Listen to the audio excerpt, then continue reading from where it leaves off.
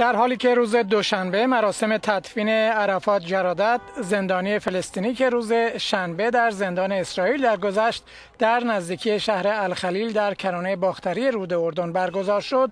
احتمال بروز درگیری های وسیع در مناطق اشغالی نگرانی های تازه را برانگیخته است. مقامات فلسطینی گفتند که مرگ این زندانی ناشی از شکنجه بوده اما دولت اسرائیل این ادعا را رد می کند یک سخنگوی دولت خودگردان فلسطین گفت تنش در قلمرو سرزمین های فلسطینی متاسفانه در حال اوجگیری است که علت آن اشغال این مناطق است. حمله به فلسطینیان در شهرک های یهودی نشین نیز رو به افزایش است. سخنگوی نخست وزیر اسرائیل نیز گفت اسرائیل انتظار دارد که مقامات فلسطین مسئولانه عمل کنند و جلوی تحریک و خشونت که تنها می‌تواند تنش جاری را تشدید کند بگیرند. اکنون زمان آن است که فلسطینیان به ترک میز مذاکره پایان دهند و به مذاکرات رودروی صلح بازگردند. روز دوشنبه پس از تدفین زندانی فلسطینی در شهر الخلیل موجی از درگیری بین فلسطینیان و نیروهای اسرائیلی رخ داد و سربازان اسرائیلی از گاز اشکاور استفاده کردند.